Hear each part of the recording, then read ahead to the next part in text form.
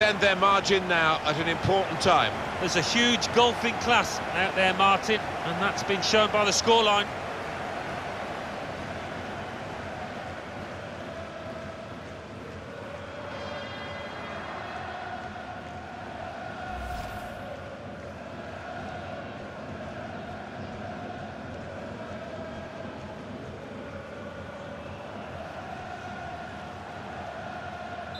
I don't think we expect